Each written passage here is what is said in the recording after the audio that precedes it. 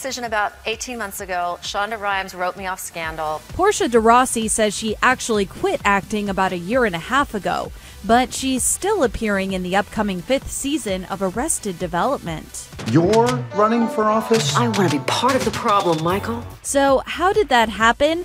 Portia stopped by her wife Ellen DeGeneres' show on Wednesday and admitted she's not really sure how she ended up on the small screen again. I called Mitch Hurwitz, who's the creator of Arrested Development, and I said, if there is a season five, I won't be doing it because I quit acting. And he seemed really like understanding and he totally got it. We had a great conversation and then he wrote me into five episodes.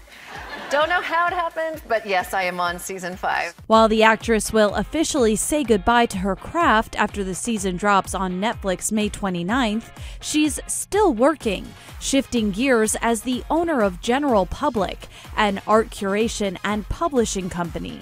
The decision to try something new came around her 45th birthday.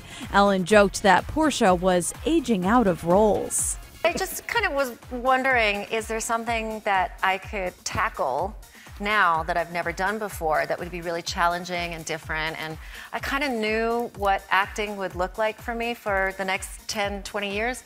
So, uh, so I decided to quit and start a business.